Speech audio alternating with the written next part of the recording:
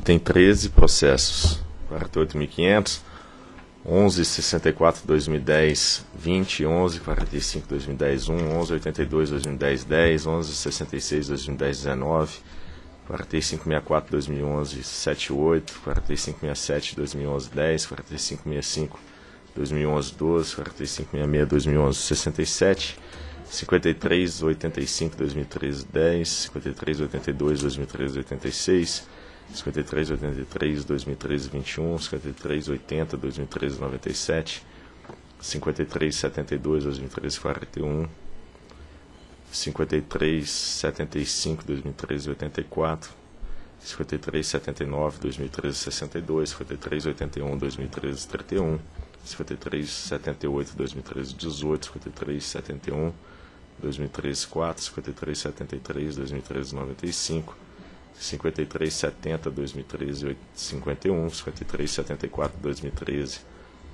30, 43, 79, 2011, 83, 45, 56, 2011, 21, 45, 57, 2011, 76, 45, 58, 2011, 11 e 45, 59, 2011, 65. Então, são pedidos de reconsideração interpostos pelas empresas Energimp, Bom Jesus Eólica, Cachoeira Eólica, Pitim, Pitimbu Eólica, São Caetano Eólica, São Caetano 1 Eólica, São Galvão Eólica, que compõem o complexo eólico Baleia, pelas empresas Carnaúba 1 Eólica, Carnaúba 2, 3, 5, Cervantes 1, 2, Punaú Eólica, que compõem o complexo eólico Punaú, pela terceira Acaraú Geração e Comercialização de Energia SA e pelas empresas Central Eólica Famosa 1, Pau Brasil e Rosada e São Paulo SA em face do despacho 1658 de 2016, que indeferiu os pleitos de alteração do cronograma de implantação das centrais geradoras eólicas sob responsabilidade de cada empresa não reconheceu o excludente de responsabilidade pelo atraso na implantação dos empreendimentos, entre outras providências. Diretor relator, doutor André Peptoni, informa que há pedido de sustentação oral.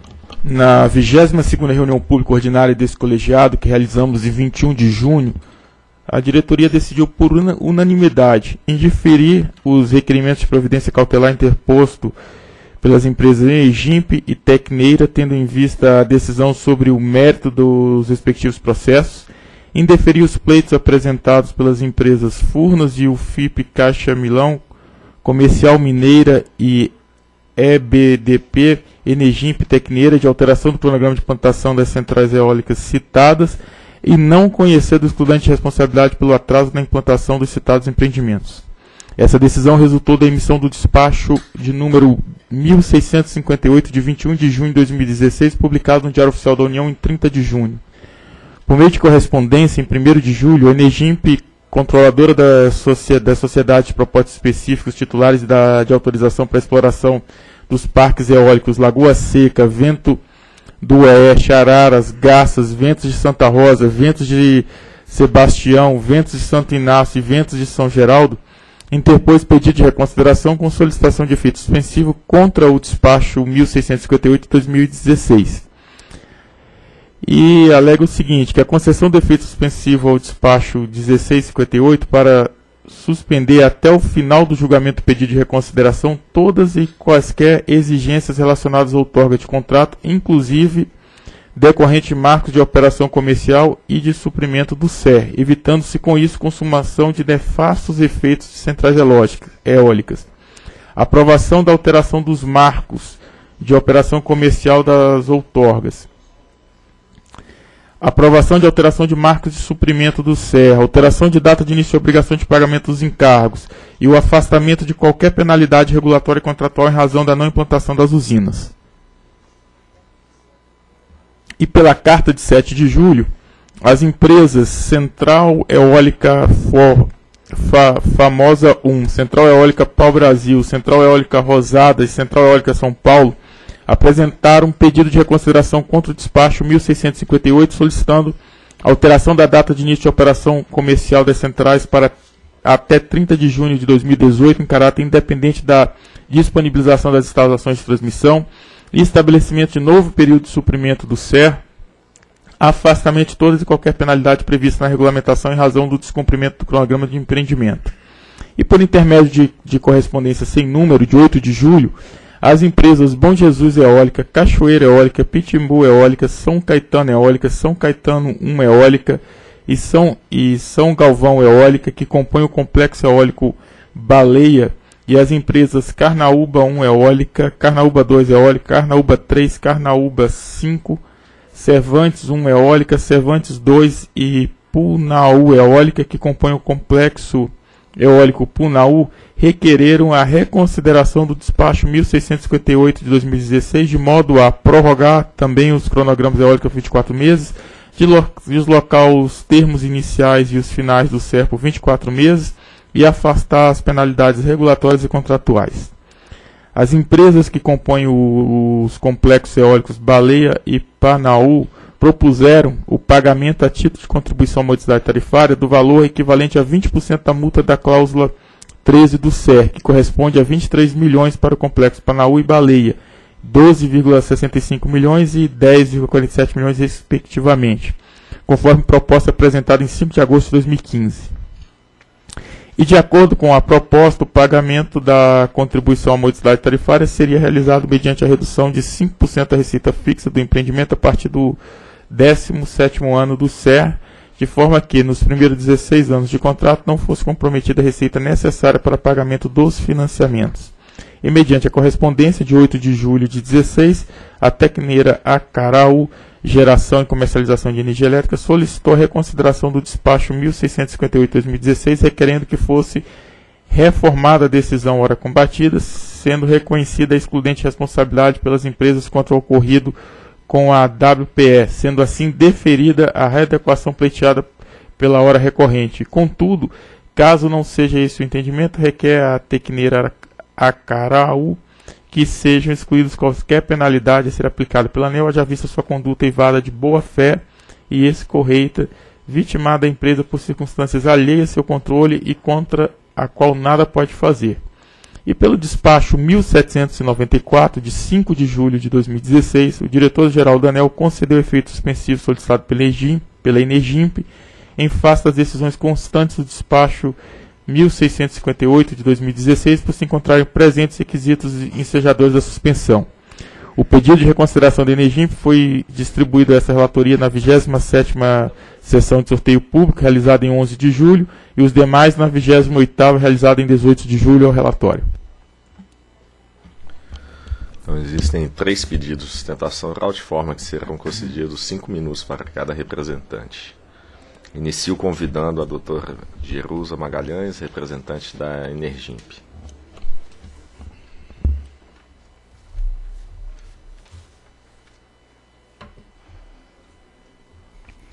Bom dia, senhores diretores. Bom dia, senhor procurador, senhor secretário. Ah, bom, este item da pauta trata desses pedidos de reconsideração em função da decisão a respeito dos impactos que foram causados a diversos geradores eólicos pela recuperação judicial da Wind Power Energy, a WPE. Basicamente, o pleito em todos os casos é pela alteração do cronograma e do início de suprimento dos contratos regulados. Uh, sendo relevante ressaltar aqui que foram dois os fundamentos do pedido é, e que constam no pedido de reconsideração. O primeiro fundamento, que foi reiterado no, no âmbito deste recurso, era o reconhecimento da área extraordinária a, como área extraordinária dessa recuperação judicial. E o segundo fundamento é o reconhecimento do interesse público na postergação uh, desses marcos, na medida em que uh, buscou-se demonstrar que não houve prejuízo pela ausência da implantação desses projetos até o momento no âmbito do, do, do sistema, pela reconhecida sobreoferta de energia é, noticiada na mídia, é, é, reconhecida no próprio âmbito do CMSE. Uh, e também porque, em alguns casos, uh, ainda há até hoje atraso na, na transmissão uh, de alguns parques que estão aí sendo cobrados a, a, implantação da operação comercial, a implantação do, dos parques. E também buscou-se demonstrar que a manutenção desses parques uh, no portfólio do setor propicia modicidade tarifária. No caso particular uh, destes parques aqui, que integram o grupo da, da Enigimp, uh, que participaram de leilões realizados em 2009 e 2011, o preço médio ele é realmente muito baixo e mostrou-se que há uma tendência dele se manter abaixo, inclusive dos, dos leilões que têm ocorrido no setor. Bom, a nota técnica, é, ao apreciar o assunto, recomendou o não deferimento da, da, do reconhecimento da área extraordinária, mas reconheceu que há um mérito na análise do, do interesse público. Porém, ah, entendeu que este mérito deveria ser avaliado no âmbito do Ministério de Minas e Energia. É, e isso foi contemplado também no ato decisório, no despacho 1658 de 2016, ah, segundo o qual foi registrado que, a, apesar do pleito ser indeferido aqui no âmbito da ANEL, os agentes poderiam levar isso para o julgamento do MME.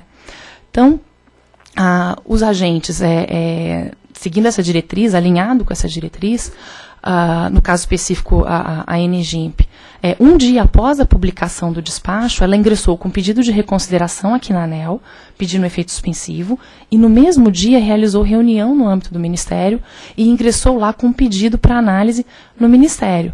Na oportunidade, é, é, e isso foi colocado no pedido de reconsideração, que já estavam sendo iniciadas as tratativas é, junto ao Ministério, a, na oportunidade registrou-se, pediu-se uma celeridade é, na análise naquele âmbito, tendo em vista ah, um processo de desligamento que estava em curso na CCE e tendo em vista que também seria apresentado o pedido de reconsideração aqui no âmbito da ANEL.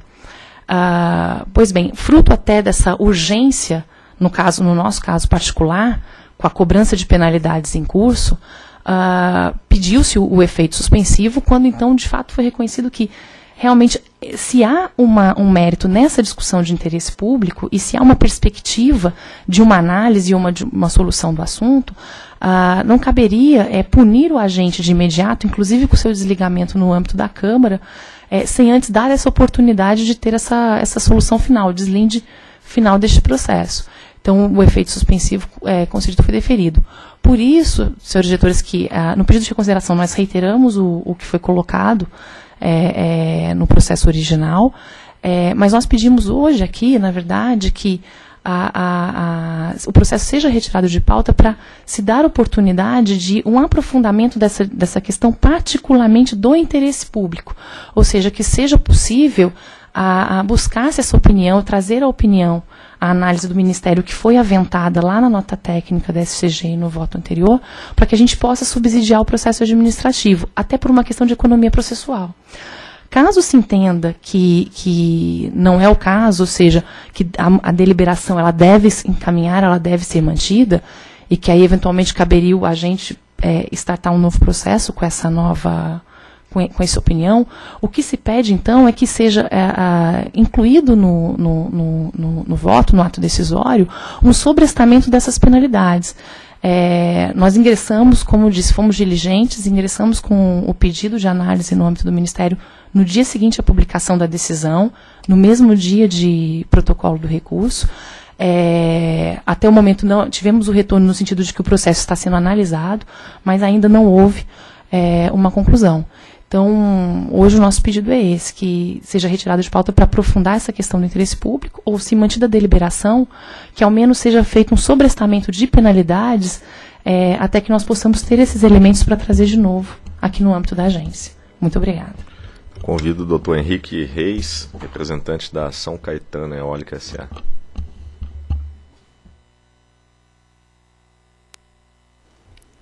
Bom dia, bom dia, senhores diretores, seu procurador-geral, secretário-geral, demais presentes. Bom, na mesma linha da sustentação oral anterior, é, fazer uma intervenção muito breve aqui.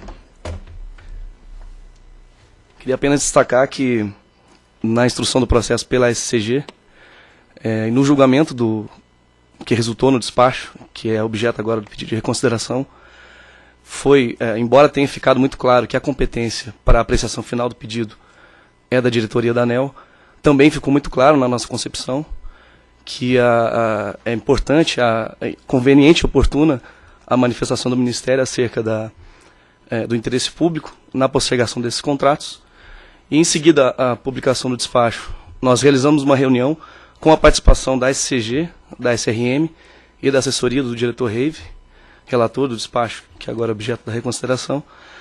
Logo após a realização da reunião, nós formalizamos a consulta ao Ministério e a, consulta agora, como disse a doutora Jerusa, encontra-se pendente, pendente de análise. E o nosso pedido aqui é muito simples, é para que o processo seja retirado de pauta, para que o Ministério possa se manifestar e que essa análise, independente de qual seja o resultado dela, é, seja considerada na, na apreciação final do pedido aqui formulado. Muito obrigado. Convido o doutor Érico Henrique Garcia de Brito, representante da Excelência Energética Consultoria Empresarial Limitada.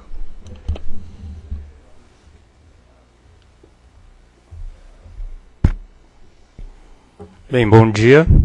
Queria né, cumprimentar os diretores, o secretário Frederico, o procurador Marcelo e também os colegas aqui da, da SCG e também os, os colegas aqui do mesmo pleito. Bem, eu preparei a minha apresentação para um tempo de 10 minutos. Eu vou tentar, vou tentar correr sem perder o objeto do que eu gostaria de colocar aqui. Bem, Excelência Energética é uma empresa de consultoria, né? nós não somos agentes, vendedores no caso, e fomos contratados pelas empresas eólicas BR e o empreendimento Famosa para desenvolver um estudo sobre a conveniência da postergação do início de suprimento no caso das 17 centrais eólicas que compõem os três complexos, que, que todos eles têm participação de Furnas no caso.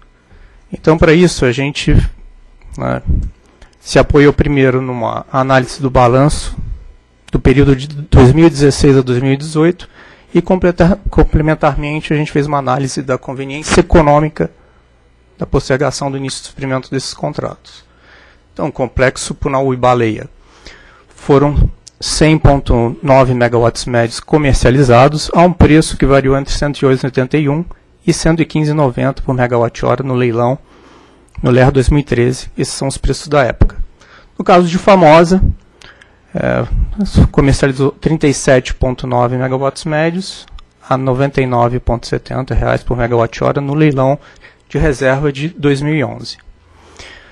Bem, para a gente fazer o balanço, preparar o balanço estrutural de 2016 a 2018, a gente levou em consideração a claro, a oferta, mas a oferta a gente considera dois pontos principais: a expansão e a avaliação da garantia física das usinas hidrelétricas, né, o caráter real ou irreal delas.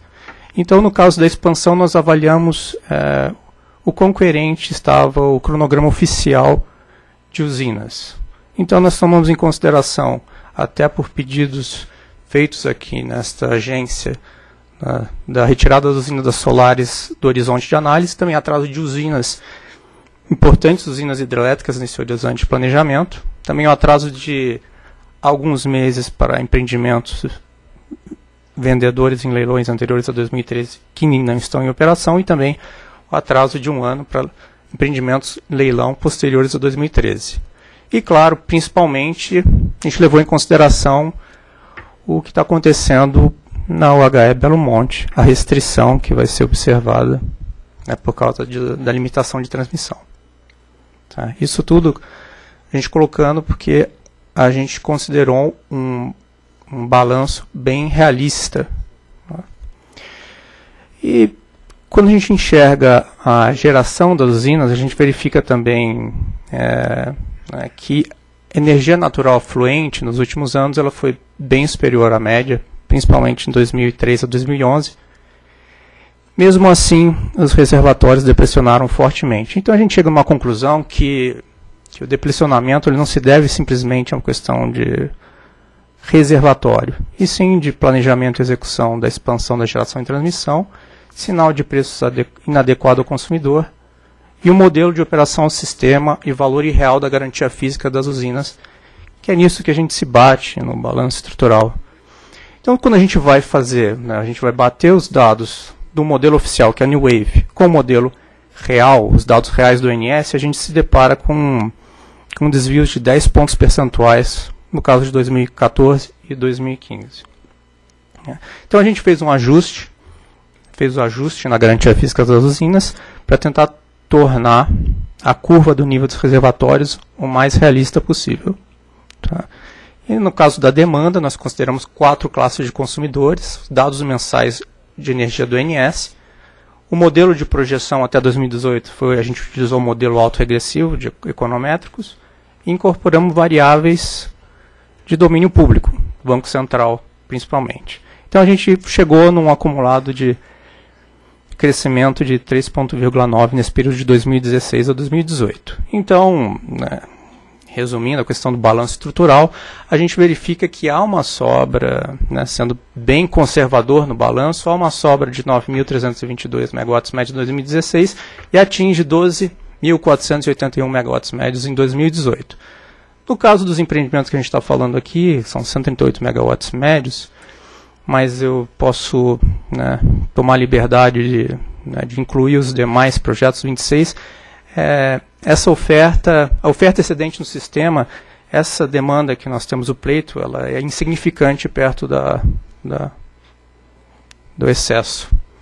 E também tem a questão de a conveniência econômica da postergação do suprimento. Né? A gente viu aqui que o PLD é a principal componente do saldo da Coner.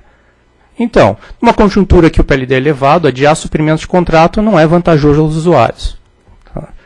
Agora, no caso em que a gente rodou, fez uma projeção do PLD tal como a SCG também fez na nota técnica, a gente verifica que não se mostraria é, prejudicial, ao contrário, podia ser benéfica porque reduziria o montante do encargo a ser apurado no período. Tá. Vou passar isso aqui porque mas o que, outro, outro ponto que eu gostaria de deixar claro é que os preços das, da energia das usinas eólicas ela tem se mostrado, além de da maior contratação, também o preço tem sido mais módicos quando contratados em comparação às demais. Esse, esse quadro deixa claro. É, então, no caso de Punau e Baleia, é, se a gente for comparar com os empreendimentos contratados nos leilões posteriores, a gente tem uma diferença de receita fixa de até 49,9%, isso dá 1,26 bilhão em 20 anos. Já no caso de Famosa, é 53%, o que dá uma diferença de 1,4 bilhão em 20 anos. É.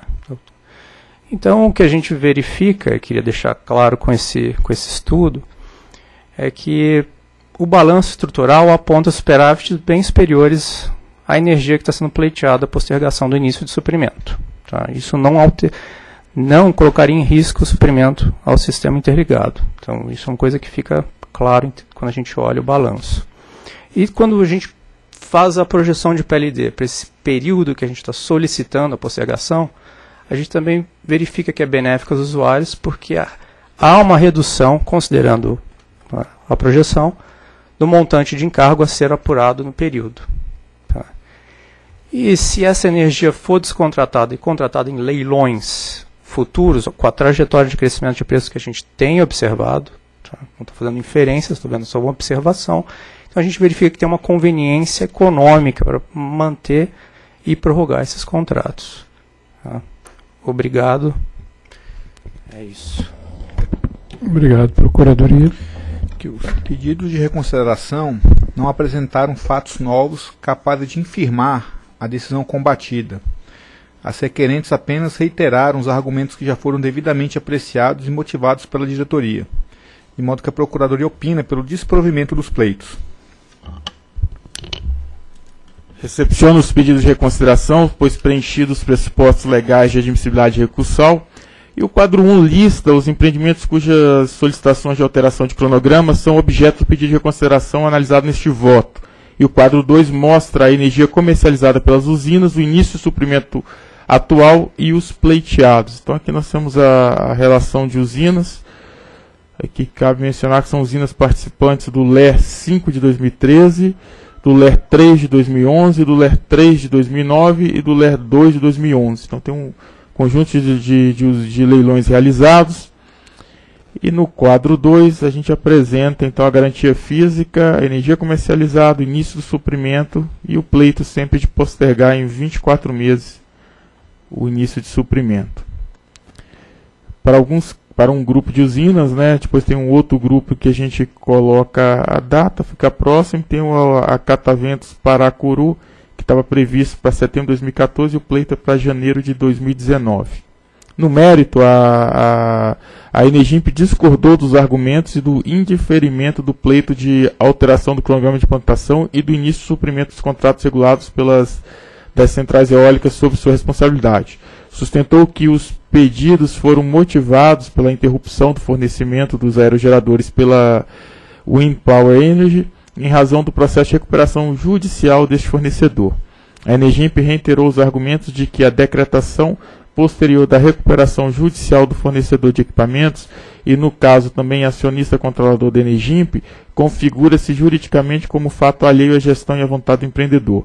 Acrescentou que, como tal fato atingiria diversas outras empresas de mercado nacional que também possuíam contratos de fornecimento de equipamento com a WPE, com impacto sistêmico e global no setor, o problema não poderia ser tratado como risco ordinário dos agentes.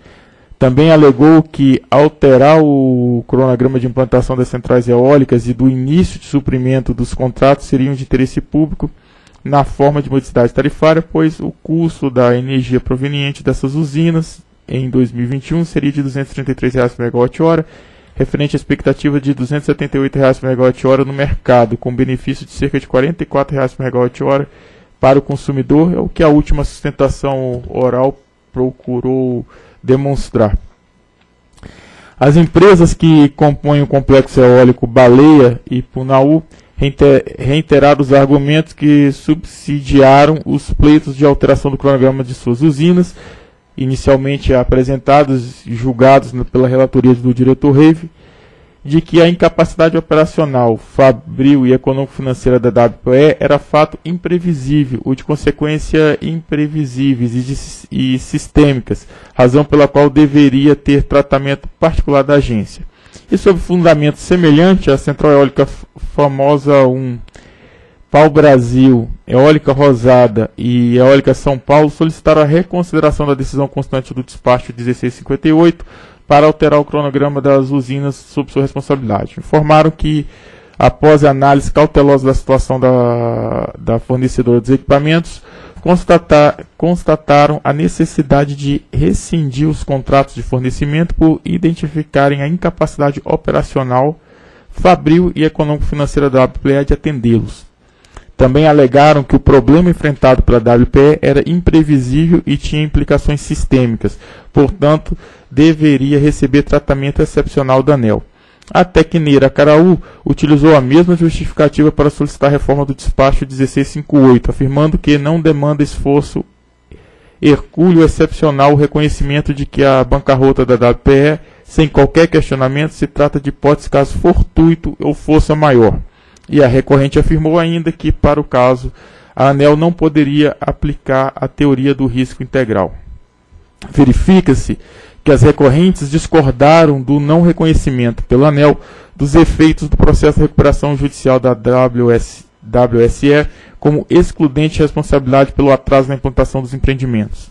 Após o detalhado exame dos pedidos de reconsideração, conclui-se que essas não apresentaram argumentos diferentes dos analisados clara e consistente consistentemente nas notas técnicas que avaliaram os pleitos de alteração do cronograma das centrais eólicas, bem como no voto condutor do despacho 1658-2016 de relatoria do diretor Reve, onde a gente transcreve alguns elementos. E o principal dele é a conclusão de que mais se o que se pode inferir é que, apesar de terem declarado diligência e tentado diminuir o atraso em seus cronogramas, a decisão de contratar a WPE como fornecedora partiu dos agentes. Então, por definição geral, por definição legal do PIA, a consequência dessa estratégia foi realizada por conta e risco do empreendedor, não podendo apontar a situação como excludente de responsabilidade, foi o que disse o relator do processo, o diretor Reive, o que foi acompanhado por unanimidade do colegiado na sessão. A Tecneira Acaraú também afirmou que, Ponto que merece destaque e de forma flagrante, data máxima vênia, fere qualquer razoabilidade do julgamento realizado pela ANEL. Se trata daquele que se refere ao denominado risco moral, e que tal argumento parece extremamente simplista e superficial, menosprezando a capacidade do regulador e dos agentes de, em reconhecer as diferenças existentes em cada caso, e passando a errônea mensagem de que todos os agentes estariam sempre espreita para ludibriar o regulador, o que em verdade está longe de ser verdade. A esse respeito, o voto do diretor Rave, quando todo despacho 658, enfatiza que uma das formas de se mitigar o risco moral é a análise de todos os lados envolvidos, no caso concreto, agente, setor elétrico e consumidor final. Com efeito, a avaliação das notas técnicas dos autos do processo, bem como a, a, a exposta no voto, não pode ser considerada, em hipótese alguma, simplista e superficial. Haja vista considerarem todos os fatos e justificativas apresentados pelos recorrentes para alterar os cronogramas das usinas e as consequências de eventual atendimento ou não dos peitos para o setor como para os consumidores. Ressalta-se que, em relação ao CERS, o exame indicou que, do ponto de vista dos agentes e dos consumidores de energia de reserva, a postergação poderia ser benéfica. Tal análise contemplou inclusive o pagamento a título de contribuição à modicidade tarifária do valor equivalente a 20% da multa da cláusula 13 do CES sugerido pelas empresas do complexo Punaú e Baleia e os argumentos referentes à modicidade tarifária apontados pela Energimp.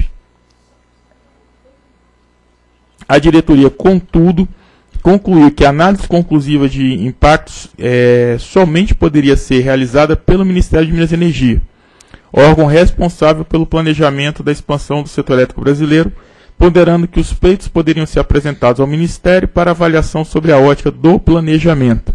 E por essa razão, as empresas que compõem o complexo eólico Baleia e Panaú questionaram o Ministério em 7 de julho sobre a conveniência e oportunidade de interesse público da prorrogação do CESO até final de 18. E nesse caso solicitaram também a fixação de critérios para descontratação prorrogação que considerassem prioridade para os agentes impactados pela falência da IMPSA e pelos agentes que implantarão os empreendimentos ao menos de acordo com o valor de comercializado no leilão, sem a necessidade de aumento de preços para a construção e operação das usinas. A Energimp também registrou ter iniciado tratativas com o Ministério para tratar do assunto. As empresas controladoras das centrais eólicas citadas, por sua vez, informaram sobre reunião com o secretário de Planejamento e Desenvolvimento Energético em 23 de junho, visando demonstrar conveniência oportunidade e interesse público da prorrogação do SES dos empreendimentos até o segundo semestre de 2018 e que formalizaram ao Ministério pedido de análise sobre o interesse público quanto à prorrogação do contrato de energia de reserva oriundo do leilão de energia de reserva 3 e 5 de 2011 e 2013. Eventual solução decorrente dessas análises será objeto de processo específico e não alteram os fundamentos expostos no voto condutor do despacho 1658, até porque foi da própria iniciativa do relator do, daquela análise que sugeriu e até interagir com o Ministério para buscar um, uma outra forma de solução. Então, esse principal argumento que é colocado hoje na análise dos autos já era de conhecimento e foi articulado pelo próprio relator da matéria à época da primeira análise. Então não se pode valer desse argumento para tentar é, obstruir a instrução do processo. Caso contrário, se fosse é, esse o entendimento, sequer seria feita a, a primeira análise naquela sessão no início de julho. Então, dessa forma, como os argumentos constantes dos pedidos de reconsideração apresentados pelos recorrentes para reconhecer excludente de responsabilidade pelo atraso na implantação das usinas e, consequentemente, para alterar o respectivo cronograma devem ser indeferidos nos termos sustentados neste voto, conclui-se que o despacho 1658 deve ser mantido. É, e sobre a, a, questão de mérito, a, a Procuradoria já se pronunciou, não houve qualquer argumento novo. Os argumentos, as alegações dos agentes são as mesmas enfrentadas na, na, na primeira análise. E me lembro bem que naquela sessão, a SCG, por meio do Guilherme, que está aqui presente, fez uma sustentação oral, onde o Guilherme com muita didática, agrupou as alegações do agente em quatro grupos. Primeiro grupo, excludente de responsabilidade devido à recuperação judicial da IMPSA. E qual que foi a análise que a equipe técnica fez e que foi acompanhada por unanimidade, por, por, proposta pelo relator né, e acompanhada pela unanimidade pelo colegiado. Primeiro que, apesar da alegada diligência na escolha do fornecedor, as empresas foram otorgadas na qualidade de produtor independente, modalidade de exploração cuja assunção de risco é intrínseca e também pontuou que a abertura desse precedente é um sinal ruim para o mercado, pois as empresas poderiam ser estimuladas a relaxar a gestão de governança na celebração de seus contratos com fornecedores de equipamento. Então foram os dois argumentos que prevaleceram. Segundo grupo de alegações, procura de novo fornecedor. Qual foi feita a análise feita? Primeiro que os outros geradores, que também tinham como fornecedor de aerogeradores a IMPSA, conseguiram concluir a implantação de seus parques, e citam como exemplo a Eletrosul. E depois que não apresentaram contratos de novos fornecedores, nem confirmação de terem procurado o BNDES. E os outros dois grupos ainda de alegações, a, a terceira, que era melhor para o consumidor e para o CCAR. Então não é, é benéfico ao consumidor de energia, além de alterar o cronograma, reajustar em 109% o valor de venda de energia para o empreendimento. E depois que o empreendedor pode negociar um acordo bilateral com as distribuidoras de acordo com a resolução 711. E aqui é uma, é uma maneira, a agência já montou todo um aparelho regulatório para enfrentar a questão da sobrecontratação e que permite, ou seja, para que se tenha sucesso, o grupo de distribuidoras tem que interagir com o grupo de geradores. Então, do ponto de vista regulatório, até o momento é benéfico em função da subcontratação e existe toda a, a, linha que a ANEL entende adequar, adequada de redução desses contratos. Então tem a resolução 711 e depois da 711 nós julgamos um outro processo, até de minha relatoria, que foi o MCSD reverso que se chama, né? Me foge aqui a, a resolução que foi publicada, é 700 e alguma coisa. Então, esses empreendedores que não lograram o êxito têm a, a possibilidade, dentro do aparelho regulatório, buscar a, a descontratação dessa energia. E, por fim, naquela sessão, a última alegação é que é melhor para o consumidor do céu, que foi também apresentado aqui na sustentação oral. E os argumentos que pautaram a análise é que a energia de reserva ela se presta a fazer o encontro entre a garantia física calculada e a real, emulando então um seguro contra a falta de energia. E qual tal seguro ele deve ser levado em conta é o risco do sinistro ao se abrir mão dessa energia. E no caso concreto, então, com a realização do leilão em 2011 e 2013, o poder concedente preferiu obter essa energia a correr o risco de ficar sem a sua cobertura. Então, seriam esses quatro principais grupos, conforme o Guilherme fez a apresentação naquela sessão, e aqui toda a motivação de por que não acatamos cada item. E na análise do recurso não foi é, apresentado nenhum fato novo. O único fato novo que se colocava era esse interação dos agentes com o Ministério, que já era de conhecimento da época e que já estava ocorrendo. Então, e, e mesmo assim, naquela oportunidade, optou-se por decidir. Então, pelos mesmos elementos, pelos mesmos valores, a gente também entende que não é motivo para afastar a análise desse processo. Então, nesse sentido, a partir de tal análise das considerações apresentadas nos processos que foram apregoados pelo secretário-geral, voto por conhecer dos pedidos da reconsideração das empresas também já apregoadas pelo secretário-geral contra o despacho 1658 de 2016, que indeferiu pleitos de alteração do cronograma de implantação das centrais geradoras eólicas sob responsabilidade de cada empresa, não reconheceu o excludente de responsabilidade pelo atraso da implantação dos empreendimentos, dentre outras providências, e no mérito negar-lhes provimento. E aqui eu volto também é, da forma como nós estamos atuando nos recentes julgados aqui no colegiado, é para que sejam instaurados os processos administrativos para avaliar a questão de execução de garantia e a questão da aplicação das penalidades contratuais. Então, as penalidades não são sumárias, elas são tratadas dentro de um processo, como nós fizemos aqui toda semana, está se extinguindo outorga de térmica, né, tem de, de eólica também, onde se determina a instalação desses dois processos. É o voto. Em discussão. Em votação.